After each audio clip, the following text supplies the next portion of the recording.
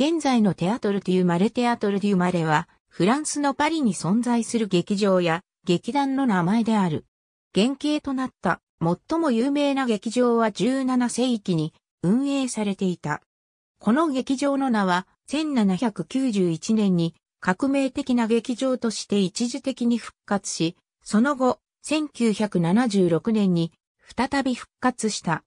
現在のテアトルデュマレは、パリの3区にあるボルタ通り37番地で運営されている。1652年のゴンブーストによるパリの地図に掲載されたマレーザ。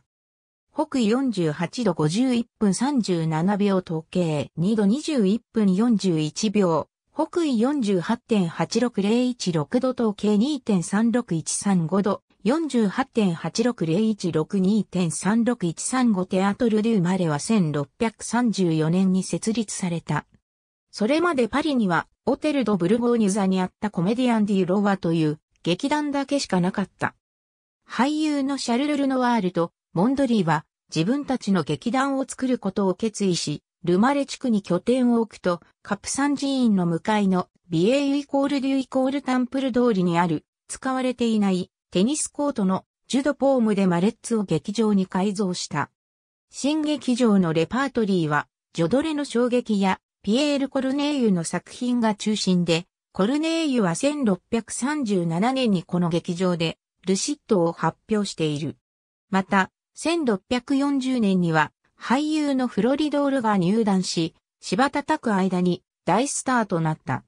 1643年、劇場は火事で甚大な被害を受け、1644年10月に修復が完了するまで閉鎖されていた。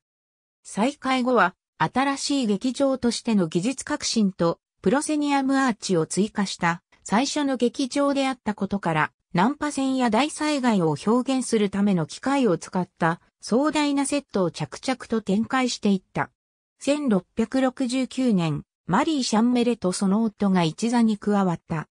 王のコメディアンとの競争は1673年まで続いたが、マレーザが解散して、モリエールの一座と合流し、ゲネゴー劇場でトループ・デュ・ロイが結成され、最終的にはコメディ・フランセーズの一部となった。1791年、新しいテアトル・デュ・マレンが設立された。バスティーユ襲撃の際に回収された資材を使って建設され、革命的な光景を披露した劇作家はカロン・ド・ボーマルシェである。この劇場は1807年にナポレオンによって閉鎖させられ、1812年には公衆浴場建設のために破壊された。現在のテアトル・デュ・マレは1976年にジャック・モクレールによって設立された。1999年に一時閉場したが、2000年5月にクール・フローランの一部として再オープンした。ありがとうございます。